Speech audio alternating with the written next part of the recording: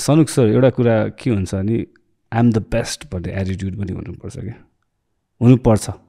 भन्ने यो चाहिँ म किन राख्छु भने अब I'm a huge Cristiano Ronaldo fan धेरैलाई थाहा छ यो कुरा।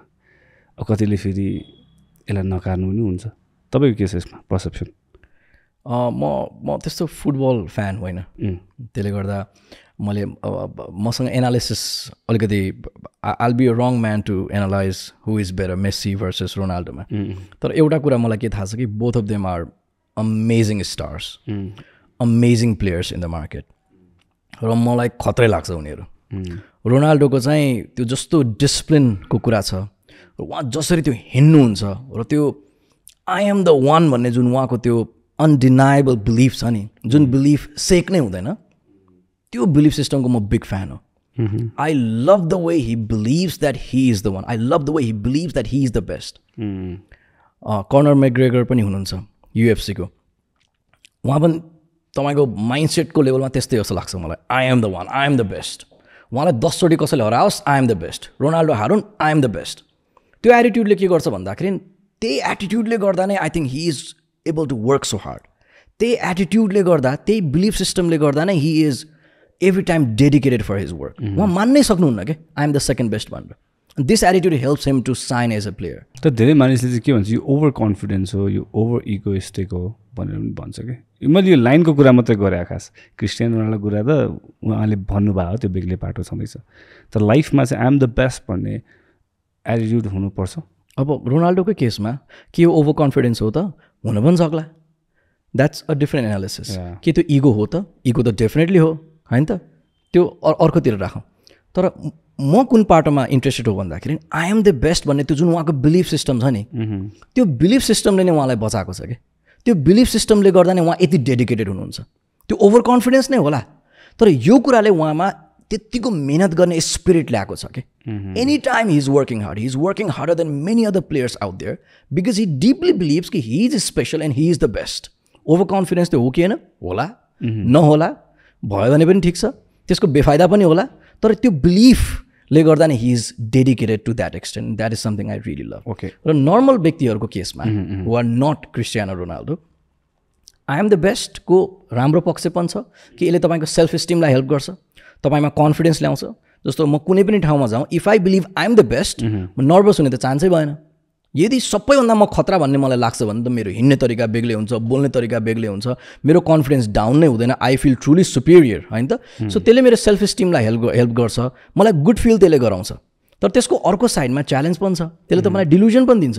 धेरै टिनेजरहरूको केसमा किनकि उहाँहरू कतिपय अवस्थामा क्रिटिकल्ली सोचिरहेको हुन्नन् उहाँहरूको केसमा आई एम द बेस्ट भन्ने कुरा यति धेरै मानिदिन्छन् कि कतिपय व्यक्तिहरूले त्यो इल्युजनमा बसेका हुन्छन्।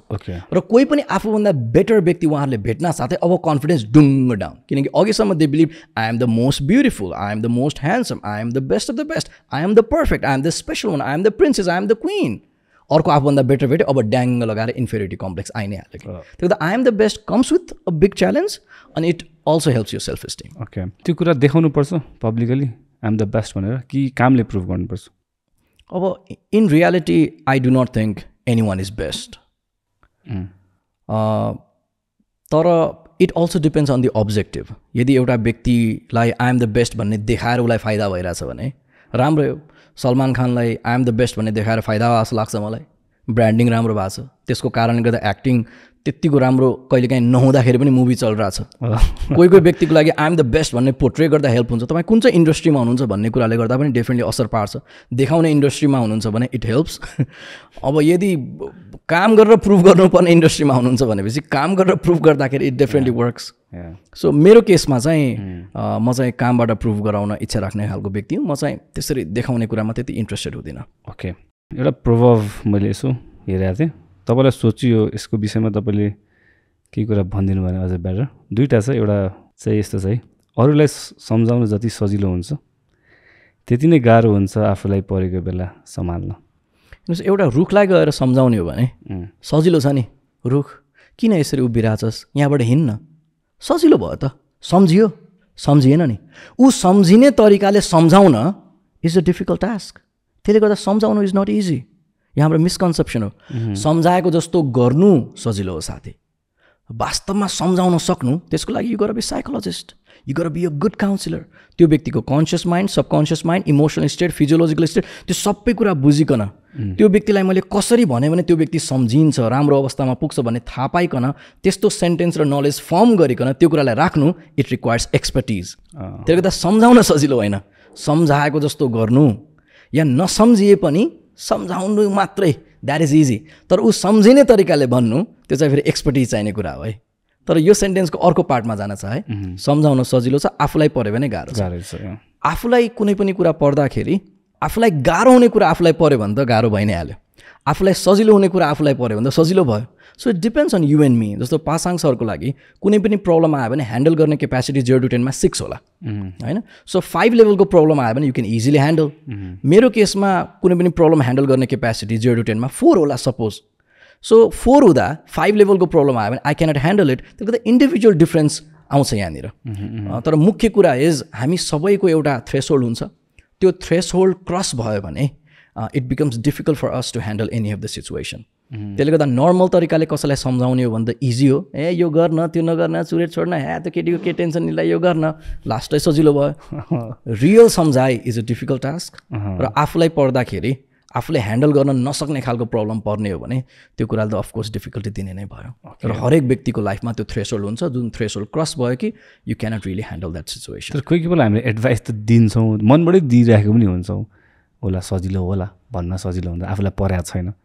तर कोही कोही बेला त्यो एडभाइस पनि त काम लाग्न सक्छ नि होइन? अफकोर्स लाग्छ नि यार। किन लाग्छ कि पासाङ सर? हामी सिक्छौँ कहाँबाट? तपाईँ हामी सिक्छौँ कसरी? हामी आफ्नो सोचाइबाट सिक्छौँ एउटा।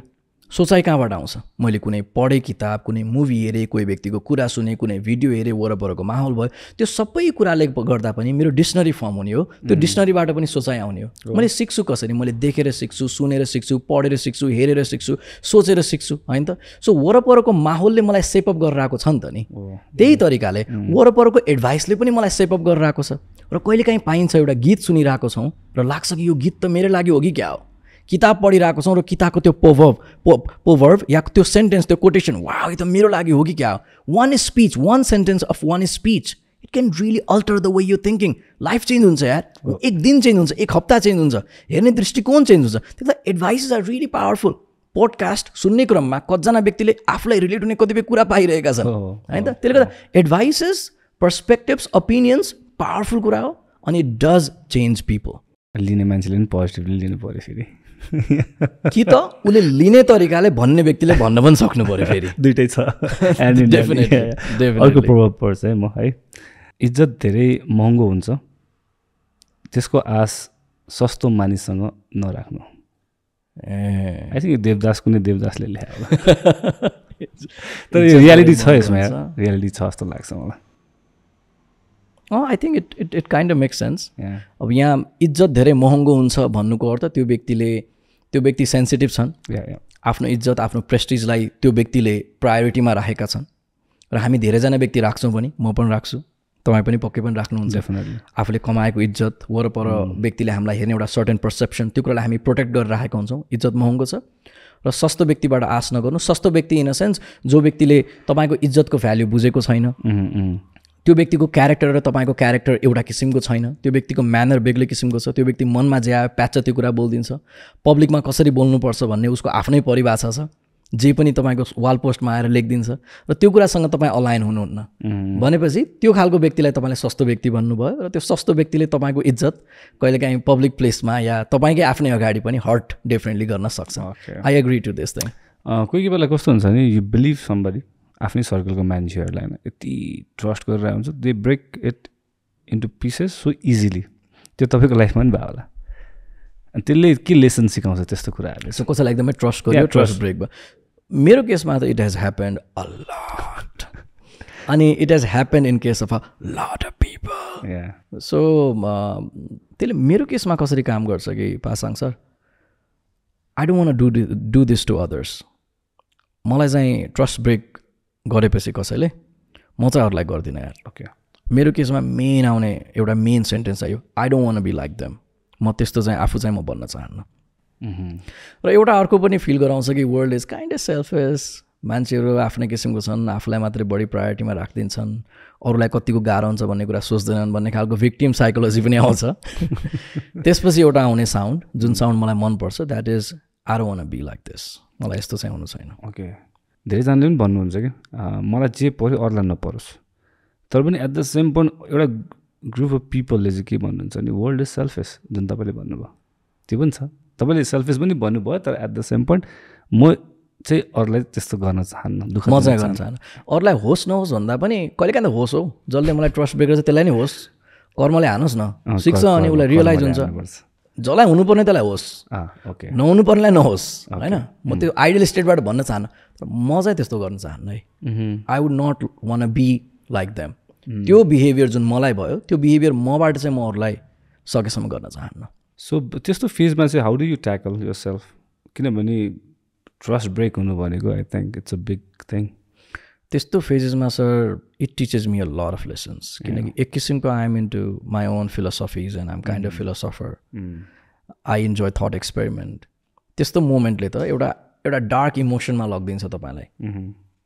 हर्ट भएको हर्ट ब्रोकन भएको इमोसनमा लगिदिन्छ। र त्यो अवस्थाले यस्तो दामी दामी तपाईँको थट निकाल्छ नि। टक्क ल्यापटप खोल्ने हो रुन मन लाग्ने म्युजिक प्ले गर्ने हो लेख्ने हो त्यसपछि। And I love what I write at the at at those moments किचनमा जाने हो धेरै जस्तो म किचनमा जान्छु स्पिच प्र्याक्टिस गर्नलाई। स्पिच दिए जस्तो गर्ने हो होइन?